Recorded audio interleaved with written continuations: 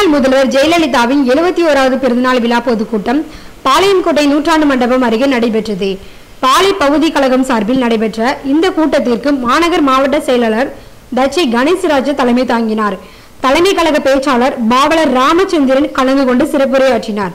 இந்த கூட்டத்தில் Bharani Sankaralingam Senthil Arumugam Gerald Mahaboob John Sellathurai Velpandian ஆகியோர் முன்னிலை வகித்தனர்.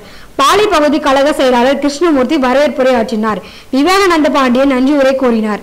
கூட்டத்திற்கான ஏற்பாடுகளை பாலை பகுதி கழக நிர்வாகிகள் சிறப்பாக செய்திருந்தனர்.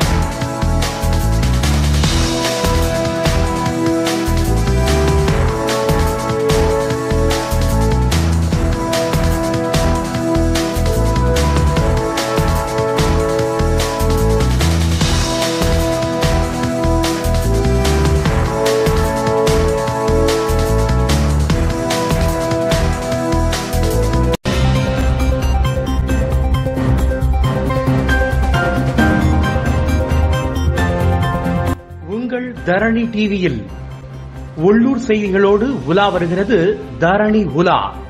உங்கள் தரணி டிவியில் தினமும் காலை ஏழு மணி இரவு ஏழு மணி மற்றும் இரவு பத்து மணிக்கு காணத் தவறாதீர்கள். தரணி உலா. தரணியோடு இணைந்திருங்கள். தாமிரபரணி ஓடும் சீமையின் தகவல்களை தெரிந்து கொள்ளுங்கள்.